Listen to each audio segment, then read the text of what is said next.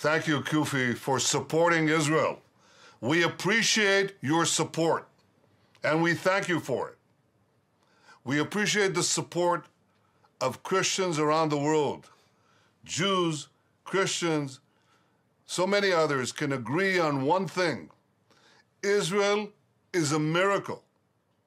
A state in the heart of the Middle East that has known democracy, pure democracy and liberty, every day of its 70 year history. A pluralistic, open society, a democracy where diversity is celebrated, not feared.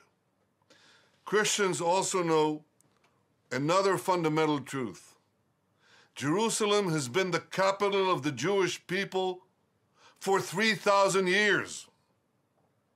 Jerusalem has been the capital of Israel for 70 years, and Jerusalem will always be our capital. Thank you, President Trump, and thank our many, many Christian friends around the world for recognizing this basic truth. Ladies and gentlemen, Israel is, the, is also the only country for thousands of miles where Christians not only survive, they thrive. Christian holy sites are protected, and Christian worship is done without fear. Christians have achieved incredible heights in Israel. We have an Arab Christian who served on our Supreme Court for 15 years.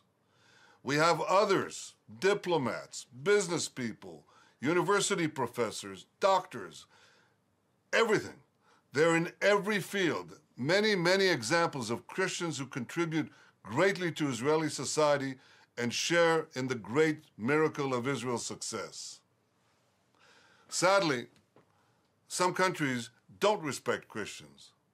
In Iran, Christians are brutally persecuted.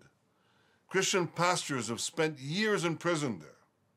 Now, this is an issue which I believe should concern everyone. And let me say clearly Israel stands in complete solidarity with persecuted Christians in Iran.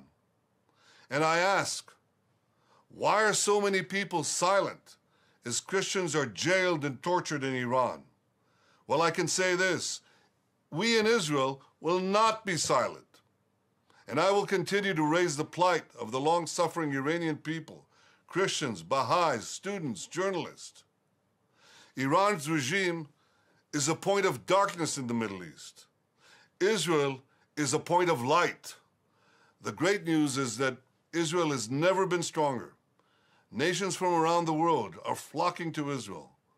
They seek our ingenuity, they seek our technology, they seek our intelligence in both senses of the word. Israel still faces many threats. On our southern border, the fanatic terrorist group Hamas calls for genocide of Jews. In the north, Hezbollah has stockpiled massive numbers of missiles aimed at Israel. And Iran, well, Iran openly calls for Israel's annihilation. But Israel is strong. We will not let thugs and tyrants bully us. We will always defend ourselves. We will prosper. We will thrive. And Israel's strength is not merely because of our army, it's because of our spirit. And it's because of the spirit of friends like you around the world.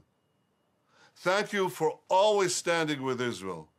You're truly among our greatest friends in the world. I cherish that friendship and I cherish your solidarity. Thank you for standing with Israel.